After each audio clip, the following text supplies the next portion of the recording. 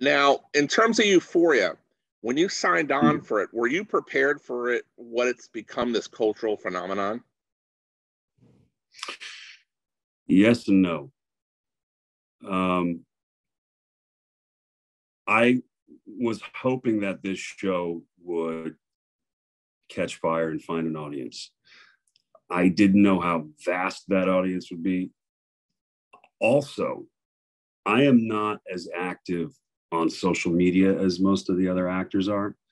So when you say cultural phenomenon, I pause for a second because I'm not so sure I'm aware of of of this show in the same way that other people are. Does that make sense? I mean, if you go on Twitter and just type in the word euphoria, there are th- uh, hundreds right. of, just euphoria Twitter handles. The okay, guy so, of this, uh, Colman, Ali, that. I mean, yeah, I Jacob. Don't do I, I, I know, but the, the thing is, is that this show has evolved into something that's like yeah, larger no, no, than no, life. No doubt no doubt and and if i were engaged in the social media world i think i it would be more in my face but you know i know that we have about 17 million viewers weekly which is massive in today's climate current sort of television situation with there being 10,000 television shows to choose from um so i do know of the success that the show is experiencing I just a cultural phenomenon. I don't. I, I I'm not privy to to that part of it, but I do. I do. I do know that it's tweeted about and Instagrammed about and TikToked and all that stuff.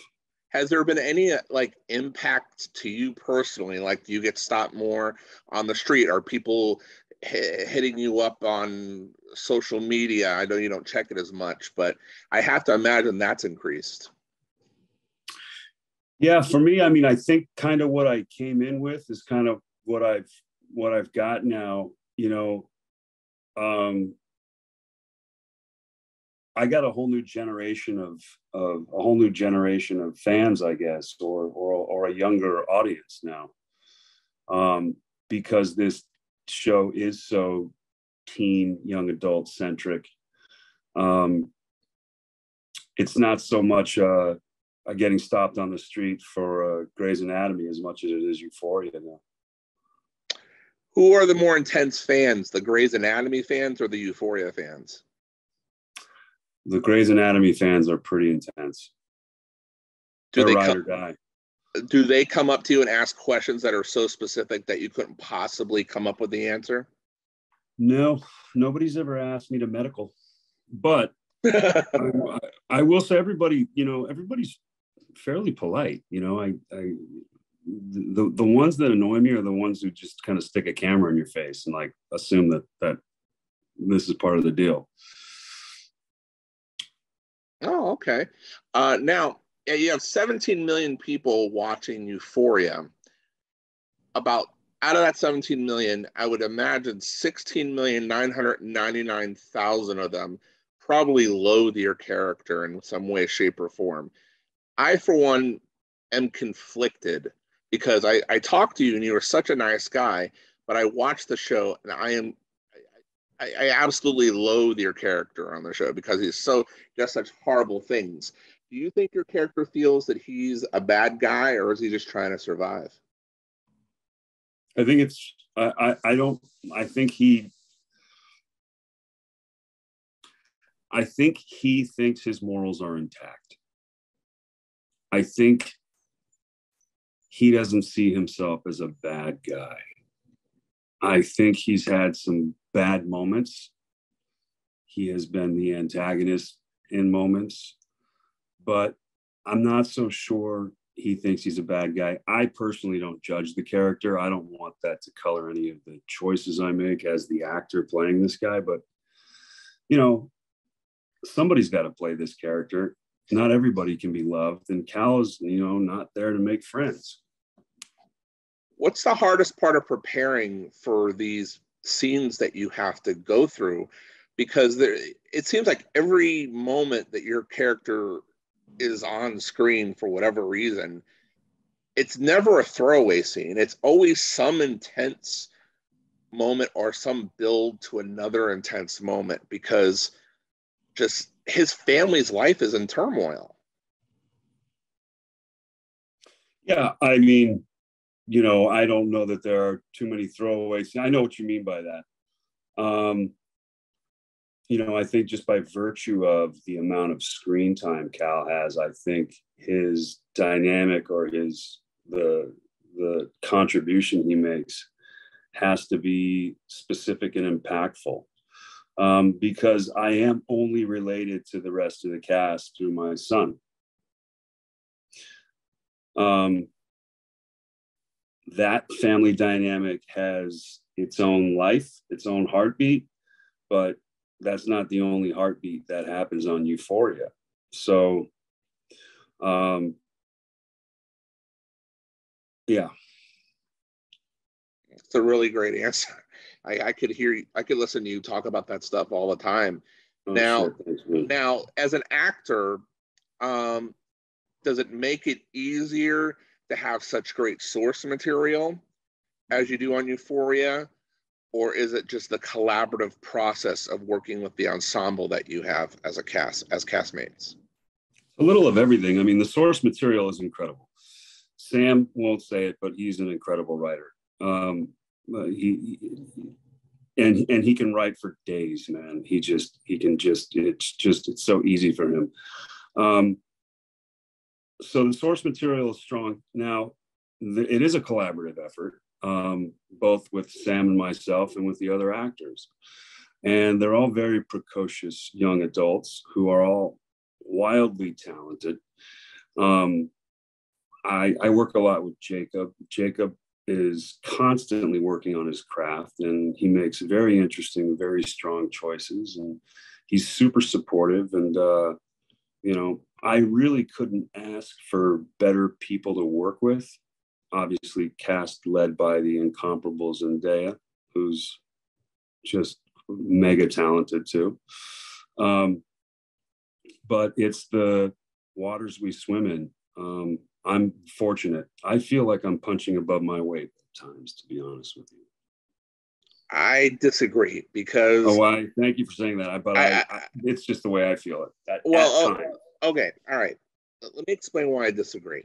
And I know that we agree on fantasy football, but I'm going to tell you why we disagree here.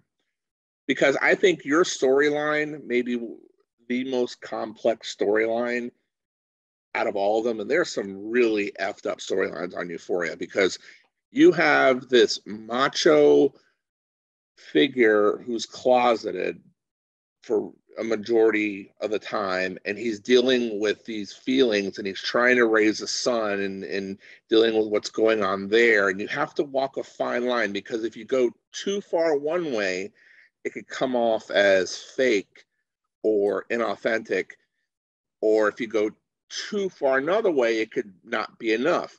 So it's almost like you're threading this little needle that has to be pitch perfect. Every time you step into a scene or people ain't going to buy it. And those people are going to stop believing cal is cal uh, a guy who will go at any lengths to go um, capture the disc for lack of a better way to put it. Um, and that's you okay? I mean i mean it's a different version of you. It's not the Grey's Anatomy you by any stretch of the imagination but it just shows your versatility as a performer.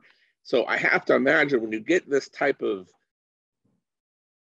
this type of backstory, this type of direction, where, where the story's headed, etc., you have to literally be licking your chops at like, wow, this is what I've wanted to do.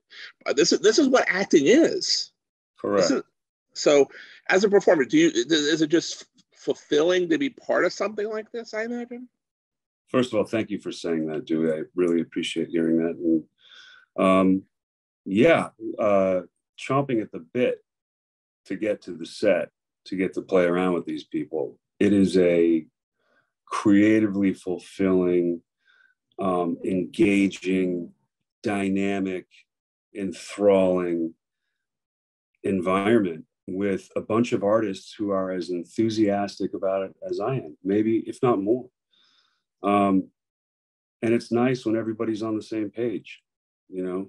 Um, and as a result, we got a show that's you know, one of the bigger shows on television right now, and one of the more well executed shows on television, in my opinion. I, I may be a little biased, but I think Sam has created some groundbreaking television. I hate that word, but um, I think he's really captured something special with this show. People overuse the word groundbreaking, but when you create know, a man. show, no, but hold on, hold on, uh, hold on. But uh, they overuse the word groundbreaking, but when a show becomes the term, then you're not overusing it at all. Let me explain. How many shows have we heard in recent months and years, if you will? Um, oh, the next Euphoria. This is the next Euphoria. This is Euphoria. Euphoria. Like, okay, they try. Eh, you try to imitate Euphoria, but there is only Euphoria. Everybody wants to be the show, but you guys are part of the show. So I think when you use the word groundbreaking, you're not off at all because you, right. you've created a new piece of the pie for other shows to try and kind of fit in what you guys have created. And it's a testament to what the ensemble has created, that universe that Sam has written. Um, but my question is this what's the toughest scene that you've ever had to film uh, in your uh, time as Cal? You know, I think the scene the scene with Hunter in the pilot was tough to shoot because the act was so violent and aggressive in moments and um, that stuff is never you know we're still two human beings that are um, working together and it's it's just it's it's i don't know acting is acting is tough sometimes i guess um, the reason that I would find scenes difficult would be an absolute joke to you. Like the the monologue in the foyer, the monologue in the foyer to me didn't come off as uh, something that seemed like it was like a huge task. But I'll tell you what was a huge task: getting that that that penis to pee correctly. I did not expect you to go there. Um, well, that's like, like like I said, I framed it up and I said what I would find difficult might not be anything that you would recognize as oh that looks difficult, but you know that's at the top of the scene, and I want to go into the scene with everything functioning. I want to go into the scene smoothly. I want it to be a nice transition. I don't want to have to fumble with anything while I'm trying to do this eight page monologue, however many pages it was. Now, I, I read something, and I'm not sure it's accurate, but I'm gonna kind of, since we've kind of went down this road, I'm gonna take it down there a little more. Do you get interesting fan mail uh, playing Cal? Uh, interesting um, uh, notes sent to you because there. I read something about people are sending some interesting photos to you. Well. uh, I've looked into I, in my DMs a couple times, and I, um, I'm more careful with that these days and reluctant to go down that dark alley. But I have received my fair share of dick pics. Um, and you know, I, I, am neither here nor there with it. I don't look at them, uh, but uh, I'm sure they're all very robust and um, taken with the best possible camera available. Hmm. Might be the greatest interview I've ever had. I mean, uh, that was tiptoeing in between the raindrops, I guess, huh? No, let's not tiptoe. Let's let's go there. Little did I know that the well, the, one of the most difficult parts of uh, your experience on Euphoria was uh, the, the urination sequence, and I just had confirmed something I had heard that your DMs are quite interesting. So the life of uh, Eric uh, is quite colorful, we'll say sometimes. Yeah, very colorful sometimes. A little more interesting than say trying to figure out who you're going to pick in the third round in a fantasy football draft. I'm taking a wide receiver or a starting quarterback. I think you're a smart guy for that. Now, in terms of future seasons of Euphoria, have they talked to you yet about that, or is there any discussions about where things are headed? Yeah, we got picked up for season three before we started shooting season two. I know that um, part. I'm talking about a start okay. date. Oh God, I've heard I've heard grumblings of January. I've heard, but who knows? I mean, that we got a lot of schedules to work out and deal with. Um, namely Zendaya's and Sam's, and those two have to line up before I think they they try to figure out everybody else. Um, as far as what's going to happen, I haven't been told anything, um, and I typically I don't I don't ask um, because it's all so interesting to me. I don't really I kind of like to see it when it when it happens. I don't really have any dog in the fight for trying to figure find out you know ahead of time um, i don't need to discuss my role with sam i don't need to ask him why my storyline is going a certain direction or where it's going and uh, you know it's just it's it's it's fun to kind of un let the season unfold when it unfolds for everybody else i don't you know and things change so frequently you know, Sam could call me tonight and say, hey, this is what we're doing season three. And by the time the first drafts come out, it could be something entirely different. Things change, writers change all the time. I'm sure you know that.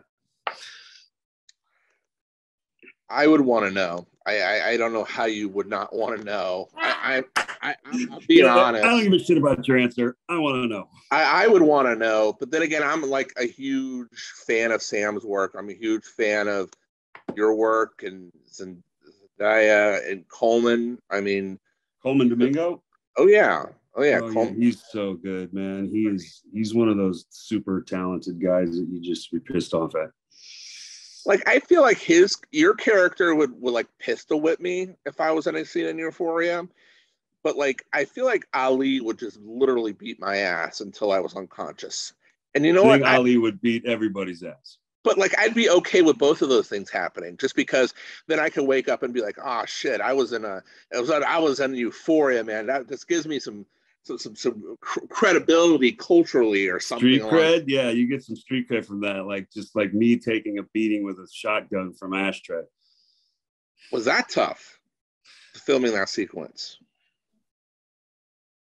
No, I mean, you know, again, the the parts about that scene that were that looked difficult weren't difficult, and the part the parts about that scene that that didn't look difficult were difficult. Um, you know, Javon's like a professional athlete, man, and he knows how to pull a punch. He's got amazing body control. He's a boxer, so when you're using a prop shotgun that's foamy on one end, um, and the guy knows how to pull a punch and make it look like a strike, then you know it's not a bad day uh, it's not as bad. It's not a terrible day. It's not as bad as it could be.